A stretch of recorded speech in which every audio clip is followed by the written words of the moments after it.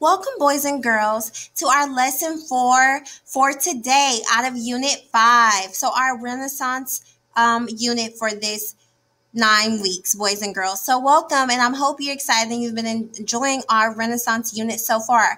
This is day four, lesson four.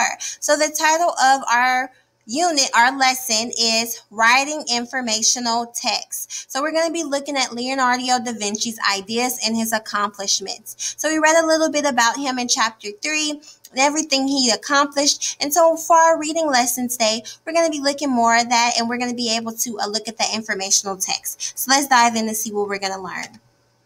Okay, lesson four. Our primary focus is always good to know where the the um, the destination before we try to go there, right? So we need to know what we're actually trying to gain or what we're trying to accomplish from this lesson before we begin it. So our primary focus, that's what we're going to be um, looking towards and directing our lesson towards is that we will be able to make the inferences about how Da Vinci's ideas and accomplishments represent the spirit of the Renaissance using evidence from the text. So we talked about the spirit of the Renaissance in our previous lesson, writing lesson. So now we're getting our reading and look at that more. So our big question, the question that we're going to keep at the front forefront of our mind as we read today is how is the spirit of the Renaissance represented in Leonardo da Vinci's ideas and accomplishments? So what so we're going to be thinking about that as we read today. How is his spirit, how is the spirit of the Renaissance represented in Leonardo da Vinci's ideas and accomplishments?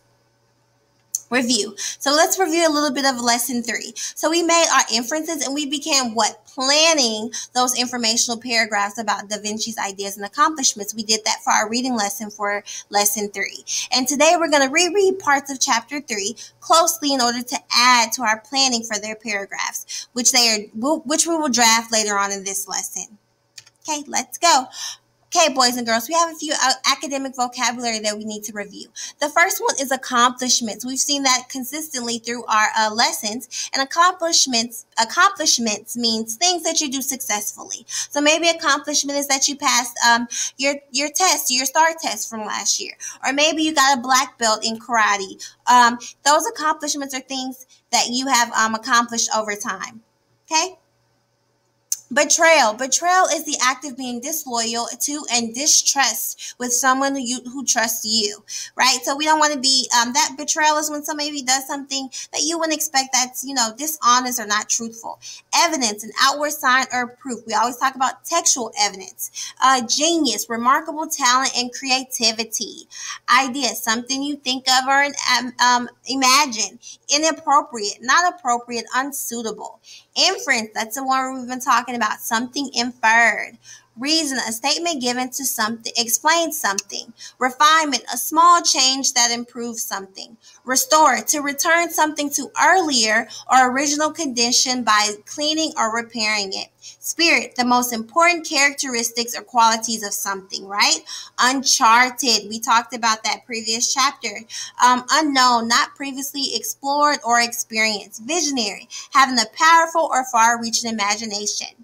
So those are our academic vocabulary words. Now we're going to look at these Span- uh, Spanish cognates for academic vocabulary. And cognates, Spanish cognates is when a Spanish word looks a lot like the word um, in English um, that's like, it looks like uh, exactly like the word that um, is used in English. So, um, for example, evidencia, that's the same as evidence. Giano, that's the same as genus. Idea, idea uh. That I think that's the same as reason. Restore, that's same as uh, restore. And espirito, that is the same as spirit. I apologize, boys and girls, if I'm pronouncing these Spanish words incorrectly, um, but it's just to show that these Spanish cognates look exactly like the words that they, uh, the similar words that they have in English. Okay, so we're going to read over chapter 3 really quickly. Boys and girls, um, we have this is the second time we're reading chapter 3 so i'm gonna go ahead and let you read it silently